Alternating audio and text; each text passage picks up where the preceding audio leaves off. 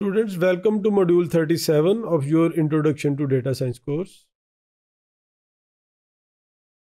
इस मॉड्यूल में हम ये देखेंगे कि जो एसक्यूएल है वो डेटा साइंस के लिए किस तरह से सूटेबल है और इसके अंदर क्या क्या ऐसी खसूसियात हैं क्या ऐसे फीचर्स हैं जिनको यूज़ करते हुए क्या ऐसे एट्रीब्यूट्स हैं क्वालिटीज़ हैं जो कि डेटा साइंस के लिए यूज़फुल हैं हमने ये डिस्कस किया इन सम अदर मॉड्यूल्स या जो बेसिकली जो तीन चार बेसिक क्वालिटीज़ हैं, उसके अंदर जो सॉफ्टवेयर डेवलपमेंट की जो आपकी एक्सपर्टीज़ है, और उसके अंदर फिर हमने ये देखा कि पाइथन और आर स्टूडियो क्या है पाइथन क्या है तो उनके साथ साथ और फिर कुछ और लैंग्वेज भी हैं। Again it will depend on your expertise कि जो टूल्स हैं, उनकी अपनी अपनी खसूसियाँ ज़रूर हैं, उनकी अपनी अपनी क्वालिटीज़ हैं। There is a comparison available between different tools कि अगर आपने डेटा साइंस के अंदर आप पाइथन यूज़ कर सकते हैं, आप आर यूज़ कर सकते हैं but even if you are good in Java आप उसको यूज़ कर सकते हैं। If you are good in Scala और maybe even C C plus plus C sharp जो dot net basically nothing stops you कुछ चीज़ें हैं जो कि ज़्यादा ईजी हैं। ईजी मीन के दे आर मोर सूटेबल लेकिन अगर आपकी एक ऐसी चीज़ है जो बहुत ज़्यादा जो है ना सूटेबल है, लेकिन आपकी एक्सपर्टीज उसमें नहीं है तो you don't have to really you know spend your time in that कि आप नए सिरे से उस एक्सपर्टी को डेवलप करें, बल्कि जिस लैंग्वेज में आपकी ऑलरेडी एक्सपर्टीज़ हैं, आप उसको यूज़ करते हुए ये जो है अपनी स्किल डेवलप कर सकते हैं। तो जो आपके जो इसका आर्किटेक्चर होता है ना एप्लीकेशन का, मैंने आपको शुरू में बताया था कि आपकी एप्लीकेशन है जहाँ से यूज़र डाटा एंटर करता है, फिर उसके इंटीग्रेशन लेयर है, सबसे नीचे उसका डेटाबेस है। तो डेटाबेस के अंदर जो डाटा है, उसको बेसिकली आप फिर एनालाइज करते हैं द डिफरेंट परस्पेक्टिव अब क्योंकि वो जो डाटा आपने सोर्स सिस्टम से लेके आना है अपने डाटा वेयर उसमें या अपनी जो आपकी डेटा साइंस की या एनालिटिक्स की इन्वायरमेंट है तो अब उसके लिए आपको क्या चाहिए? यू नीड टू इंटीग्रेट जो जो आपका डेटाबेस है, उसको अब आपने अपने कोड के साथ इंटीग्रेट करना है। तो जो आपके जो S Q L based databases है, वो आपको इंटीग्रे ए पी आई परफॉर्म करते हैं। जैसे मैंने बताया था कि थ्रू स्टोर्ड प्रोसीजर्स आप उनको वो कर सकते हैं कनेक्ट या उसके अंदर डिफरेंट फीचर्स आप डेवलप कर सकते हैं। इसी तरह आप स्टोर्ड प्रोसीजर या व्यूज़ इसके अंदर जो एक चीज़ होती है view database to database integration भी आप कर सकते हैं। तो एनी ये जो आपको अलाउ करते हैं कि आप डिफरेंट जो प्रोग्रामिंग लैंग्वेज हैं उनके साथ साथ आप इनको इंटीग्रेट कर सकते हैं। फिर इसके अंदर और बेशुमार ऐसे फीचर्स हैं, जैसे कि हमने देखा कि इसके अंदर बिल्ट इन फीचर्स होते हैं स्टैटिस्टिकल फ़ंक्शन जित जितने अब लेटेस्ट आपके पास इसके वर्जन आ रहे हैं डेटा के, जैसे औरकल आई वगैरह की मैंने बात की तो they have built in features built in statistical function है कि आप विद मिनिमम एफर्ट जो है ना, आप ज़्यादा से ज़्यादा अच्छा कोड लिख सकते हैं। फिर इसके अंदर और और, और भी कई चीज़ें एनी वो जैसे जैसे आप देखें even as a data scientist जब आप किसी फ़ील्ड में जाते हैं जब आप किसी इंडस्ट्री को ज्वाइन करते हैं तो यू विल अंडरस्टैंड कि उसका एक अपना लर्निंग कर्व एक हिस्ट्री है उस कंपनी की उस डिपार्टमेंट की जहाँ पे आपने जॉब करनी है तो you might have to change some of your skills या ये है कि कोई चीज़ आपको किसी लैंग्वेज में मिलेगी कोई किसी डेटाबेस में मिलेगी but you as a data scientist you will have to adopt to that you know environment तो उसमें फिर ये चीज़ें आपको हेल्प करती हैं कि आपने किस तरह से इसको करना है। और ये जो एस लैंग्वेज है या जो आपके स्ट्रक्चर जो डाटा बेसिस है, इसको एक और जो टर्म हम यूज़ करते हैं that is relational database management system जो मैंने शुरू में आपको बताया था कि हर जो कॉलम है एक डाटाबेस के अंदर, हर कॉलम भी एक दूसरे से लिंक हो सकते हैं। जैसे कि अगर आप एक स्टूडेंट है तो उसका रोल नंबर उसकी एज उसकी क्लास उसके रिज़ल्ट ये सारे आपस में लिंक हैं।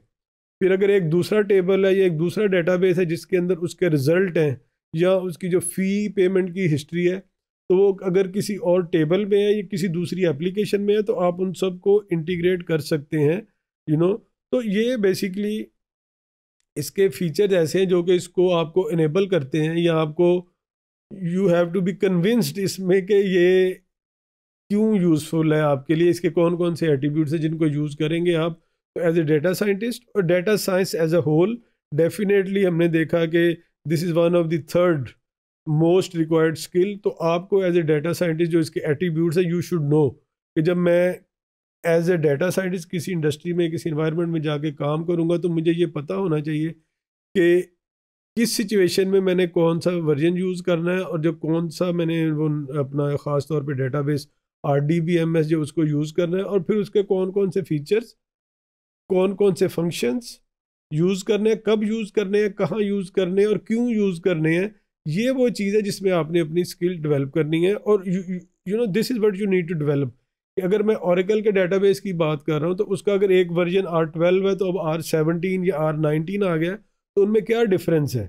क्या ये मेरे लिए ज़रूरी है कि मैं फ़ौरन लेटेस्ट वर्जन पे जाऊँ? या maybe it is good for you और योर ऑर्गेनाइजेशन कि अभी आप being moderate stick to one of the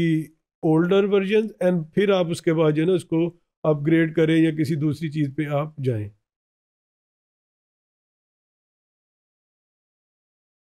अच्छा फिर ये आपको जो डिफरेंट फीचर्स हैं, ये आपको डाटा स्टोर करने की, अब देखिए एज ए डाटा साइंटिस्ट हमारी क्या रिक्वायरमेंट है कि मैं ये चाहता हूँ कि मैं डाटा को स्टोर कर सकूँ राइट मैं ये चाहता हूँ कि मैं उस डाटा को क्वेरी कर सकूँ। क्वेरी करने का मतलब है कि मैं उस डाटा में से कोई भी चीज़ अगर रीड करना चाहता हूँ अंडरस्टैंड करना चाहता हूँ तो ये जो एसक्यूएल की लैंग्वेज में इसको कहते हैं क्वेरी क्वेरी राइटिंग इसकी कमांड्स होती हैं, वो भी आप you will study in a different course hopefully क्योंकि इसके स्कोप में वो हमारी जो कोर प्रोग्रामिंग स्किल्स हमने नहीं डेवलप करनी, हमने बेसिकली हमारा फोकस ये है इसमें कि हम आपको हर उस चीज़ के बारे में बताएँ और इतनी ओरिएंटेशन आपकी जो है वो हम बिल्ड कर दें कि आपको आसानी रहे इन चीज़ों को फ्यूचर में जाके अंडरस्टैंड करने की और समझने की। तो बेसिकली ये जब आपने उसके अंदर डाटा स्टोर करना है तो जो क्वेरी है, उसकी जो सबसे एसक्यूएल की जो सबसे मैं कहूँगा कि मुश्किल मुश्किल इन द सेंस कि it has to be optimized और जो मोस्ट यूज़ कमांड है दैट इज़ सेलेक्ट वो आप जब देखेंगे तो आपको समझ आएगी, या जब थोड़ा सा आप कोई डेटाबेस में जाके कोई डाटा अपना क्रिएट करेंगे कोई टेबल क्रिएट करेंगे या कहीं पे अपना अकाउंट वगैरह क्रिएट करेंगे आप तो यू विल अंडरस्टैंड कि कुछ चीज़ें बड़ी आसान है तो कुछ आप डेवलप करते हैं अपनी एक्सपर्टीज़ वक्त के साथ साथ और फिर जो काम आप बार बार करते हैं वो फिर आपके लिए आसान बन जाता है। तो बेसिकली यही चीज़ है कि फिर उस डाटा को आपने विजुलाइज करवाना है उसके लिए आपने क्या करना है तो ये बेसिकली जो इसके कुछ ऐसे फीचर्स हैं जो कि आपको पता होना चाहिए कि, कि ऐसी क्या खसूसियात है डाटाबेस की जिनको यूज़ करते हुए आपने एक अच्छा डाटा डाटा साइंटिस्ट बनना है। अब अगर हम एज ए होल देखें तो ये जो डायग्राम है, इसमें आपको काफ़ी सारी चीज़ें नज़र आएँगी। अब इसमें ये कोई दस बारह जो फीचर्स आप देख रहे हैं कि क्वेरी से लेके तो सब क्वेरीज और फिर उसके अंदर बेसिकली आपने कुछ ना कुछ प्रोग्रामिंग तो अब तक आप लोग कर चुके होंगे। उसमें जब आप जैसे क्वेरीज लिखते हैं या आप अपना जो सिंटेक्स लिखते हैं किसी भी लैंग्वेज का, या आप उसमें रीड की अगर एक कमांड लिखते हैं तो या राइट की एक कमांड लिखते हैं, या आप सिलेक्ट की कमांड लिखते हैं तो उसमें जो आपकी जो नेस्टेड लूप्स होती हैं कि ये, फिर उसके अंदर आप अपनी कंडीशंस डालते हैं, एक लेवल से लेके दूसरे लेवल तक, दूसरे से तीसरे लेवल तक, फिर आप what if else you know basically अगर आप देखें तो ज़िंदगी में अगर हम जो आम तौर पे जो फैसले करते हैं ना, ये जितनी लैंग्वेजेस है, ये बेशक एसक्यूएल है, या आपकी कोई पाइथन है, या कोई और लैंग्वेज है इसका जो सिंटेक्स होता है ना, बिल्कुल ऐसे ही काम करता है जैसे हमारा ब्रेन काम करता है, इंसानी दिमाग, या जिस तरह से हम सोचते हैं। अच्छा ये काम मैं करूँ या ना करूँ, इसको करने का फ़ायदा क्या होगा, इसको करने का नुकसान क्या है? अच्छा मैं ये करूँगा तो मैं इधर यू नो ये मैं अच्छे तरीके से कर सकता हूँ, ये मैं नहीं कर सकता। तो बेसिकली ये जो आपकी डेटाबेसिस प्रोग्रामिंग स्किल्स और ओवरऑल जो आपकी डेटा साइंस की इन्वायरमेंट है, इसके अंदर यही है सारा कुछ। और जैसे कि आप you you know personal life में हम कहते हैं कि यार ये मेरा पास्ट एक्सपीरियंस है, इसी के बेस पे मैं कोई फ्यूचर के काम करूँगा। तो दैट इज़ ऑल्सो जो प्रडिक्शन या एस्टिमेशन डेटा साइंस में करना चाहते हैं, वो अपनी ज़िंदगी में ही करते हैं। तो same principles are applicable except for the fact अब आप बहुत सारे डाटा पे काम करते हैं, जिसकी जो प्रोज एंड कॉन्स बहुत ज़्यादा हो सकते हैं। Thank you